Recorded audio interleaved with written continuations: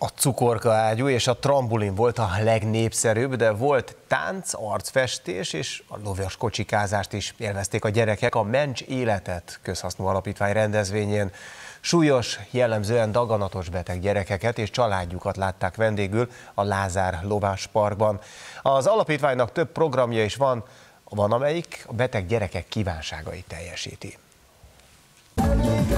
Együtt táncoltak, zenéltek és játszottak a gyerekek a Domonyvölgyi Lázár Lovas Parkban vasárnap. Itt rendezett a Mencséletet Közhasznú Alapítvány családi napot. Már 12 éve segítik a súlyos, jellemzően daganatos betegségben szenvedő, vagy ezekből gyógyuló gyerekeket és családjaikat. Most több programot szerveztek nekik, az egyik legnépszerűbb a cukorkaágyú és a trambulin volt, de a lovaskocsikázást is kipróbálhatták. Ez a kislány leukémiás volt, kemoterápiás kezeléseket kapott. Mi igazából a Szegedi Központhoz tartozunk, mi ott voltunk, és ott kapott Szilvike kezelést.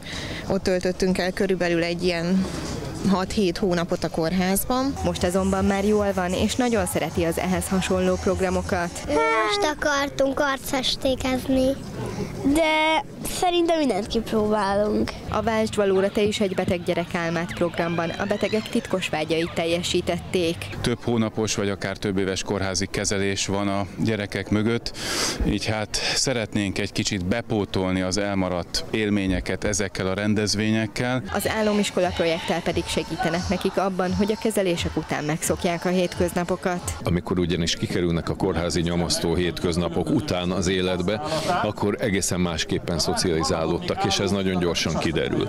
Tehát nem jártak iskolába, nem jártak közösségbe, egészen más módon végezték a tanulmányaikat, mint azok a gyerekek, akiknek nem adatott osztályrészül ilyen betegség. A jó ügy mellé olyan ismert emberek is csatlakoztak, mint például Vladár Sándor. Igyekszem minden évben itt lenni, ez az év legnagyobb eseménye, több mint 500 fő, és Dani Tamással jöttünk el meglátogatni. Én úgy gondolom, hogy az ember azért születik, hogy másokkal jót tegyen. Az alapítvány fontosnak tartja, hogy az ilyen programokon az egész család részt vegyen. Így nem csak a betegek vagy a betegségen átesettek, hanem a rokonaik is kikapcsolódhatnak, feltöltődhetnek.